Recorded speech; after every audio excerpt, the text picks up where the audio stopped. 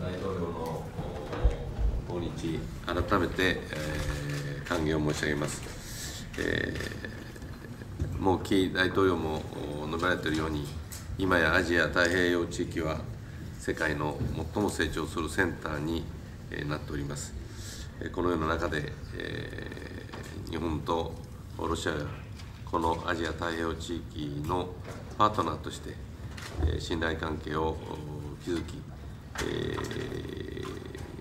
友好を深めていくよう、えー、私も努力したいと思います。本日の会談が直接の会談としては2度目になりますけれども、えー、大統領の間で、えー、相互信頼に基づく本格的な対話の開始となることを期待をしております。Господин премьер-министр, Я прежде всего хотел бы вас еще раз поблагодарить за прекрасную